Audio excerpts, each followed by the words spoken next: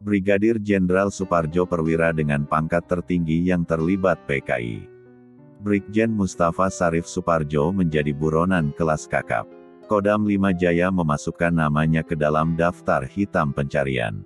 Suparjo diburu karena dianggap bertanggung jawab dalam operasi makar gerakan tanggal 30 September tahun 1965 atau G30 SPKI.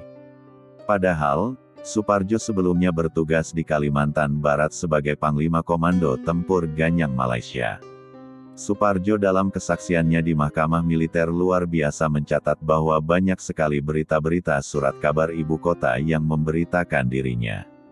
Termasuk pula foto-foto maupun reklame yang bertuliskan, tangkap hidup atau mati Suparjo mantan Brigadir Jenderal TNI adalah gembong Gestapo, PKI, dan sebagainya.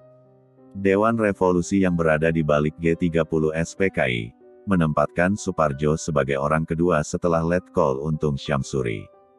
Untung sendiri telah dieksekusi mati pada akhir Maret tahun 1966 di daerah Cimahi, Jawa Barat. Sementara itu, pemimpin PKI DNIDIT sudah lebih dulu dieksekusi di Boyolali, Jawa Tengah, diperkirakan itu terjadi pada November tahun 1965. Suparjo merupakan satu-satunya pimpinan militer G30 SPKI yang belum berhasil dicinduk sampai awal 1967. Di sisi lain, komplotannya sudah berhasil ditumbangkan atau diringkus. Melihat kenyataan tersebut, sosok Suparjo memang perlu dicermati. Mengapa dia sanggup bertahan begitu lama?